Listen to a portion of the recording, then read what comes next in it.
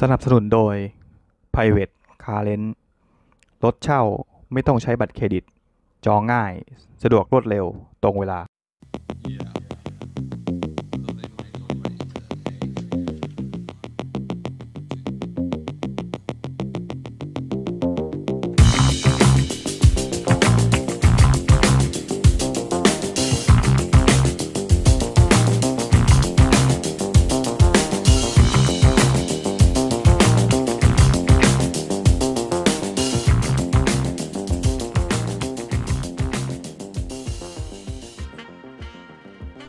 จะพูดถึงตลาดรถยนต์ไฟฟ้าในบ้านเราในตอนนี้ ถือว่ากระแสตอบรับเพิ่มขึ้นอย่างต่อเนื่อง จึงทำให้ค่ายรถยนต์ต่างๆ สนใจเข้ามาลงทุนในไทยเป็นจำนวนมาก และหนึ่งในนั้นก็คือค่ายรถยนต์จากจีน ที่ทยอยเข้ามาทำตลาด และเปิดตัวรถยนต์ไฟฟ้ารุ่นใหม่ๆอย่างต่อเนื่องครับ เริ่มตั้งแต่ผู้บุกเบิกอย่าง MG และตามมาด้วย g u e s w a l Motor BYD และ Neta อีกทั้งยังได้ข่าวว่าจะมีอีกหลายค่ายที่กำลังมุ่งหน้าเข้ามาทำตลาดในบ้านเรา ไม่ว่าจะเป็น Chery ฉางอัน Geely JMC และ JAC ด้วย และล่าสุดครับ คืออีกหนึ่งแบรนด์จีน คือทั้งค่าย GAC Group หรือกวางโจว Auto Corporation ผู้ผลิตรถยนต์ไฟฟ้ารายใหญ่ท็อป 3 ของจีน ซึ่งปัจจุบันสร้างยอดขายเป็นอันดับ 2 รองจาก BYD ได้ประกาศเมื่อวันที่ 28 มิถุนายน ปี 2023 ที่ผ่านมาว่า เตรียมจะปักหมุดลงทุน EEC ในประเทศไทย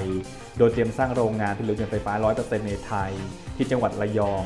โดยเม็ดเงินลงทุนกว่า 6,400 ล้านบาท โดยการตั้งเป้าผลิตรถยนต์ไฟฟ้าในไทย ทั้งขายในประเทศและส่งออกให้ได้ 1 0 0 0 0 0คันต่อปีครับ และสำหรับรถยนต์ไฟฟ้าคันแรก ที่ได้รับการยืนยันจากทางค่าย GAC ว่าจะนำเข้ามาจำหน่ายในบ้านเรานั้น จะมาในชื่อแบรนด์ ION ถือเป็นหนึ่งในแบรนด์รถยนต์ที่อยู่ในสังกัดของ GAC Group โดยรถรุ่นแรกที่จะนำเข้ามาทำตลาดในบ้านเรานั้น คาดว่าจะเป็นรุ่น GAC ION Y Plus ซึ่งก่อนหน้านี้ครับ มีรายงานว่าพบเห็นตัวรถวิ่งทดสอบบนถนนเมืองไทย โดยใส่ชุดคลุมลายพังทั้งคัน ซึ่ง Ion Y Plus ถือเป็นรถอยู่ในรูปแบบ SUV ไฟฟ้าในกลุ่ม BSUV และ Crossover ที่อยู่ในพิกัดเดียวกันกับ BYD Auto 3 MG ZSEV และสำหรับรายละเอียดคร่าวๆของ GAC Ion Y Plus ว่าที่ SUV ไฟฟ้าตัวใหม่ ในตลาดด้วยในเมืองไทยคันนี้ จะมีขนาดและมิติตัวรถที่มีความยาว 4,535มิลลิเมตรกว้าง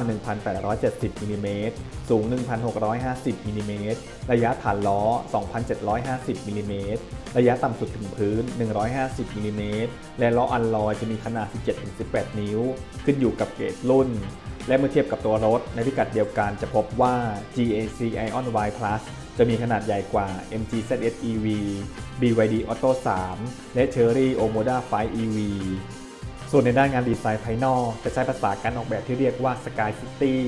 มาพร้อมกับกระจังหน้าแบบปิดทึบ ชุดไฟหน้าแบบ LED ดีไซน์เหมือนกับปีกของนางฟ้า และช่องระบายอากาศรูปทรงสี่เหลี่ยมค้างหมู ด้านข้างจะตีป่งซุ้มล้อขนาดใหญ่ทรงสี่เหลี่ยม ขณะที่หลังคาจะเป็นแบบ floating ตกแต่งด้วยแถบสีดำที่เสา B และเสา C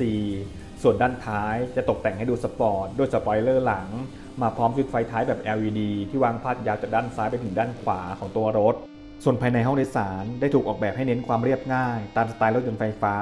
โดยลดปุ่มสั่งงานต่างๆ ที่คอนโซลด้านหน้า และจะติดตั้งเพียงมาตรวัดดิจิตอล LCD ขนาด 12.3 นิ้ว ที่วางอยู่หลังพวงมาลัยแบบ 3 ก้าน และมาพร้อมหน้าจอ Infotainment แบบสัมผัส ขนาด 14.6 นิ้ว โดยมีช่องปรับอากาศอยู่ด้านล่าง พร้อมรองรับการอัปเดตแบบ OTA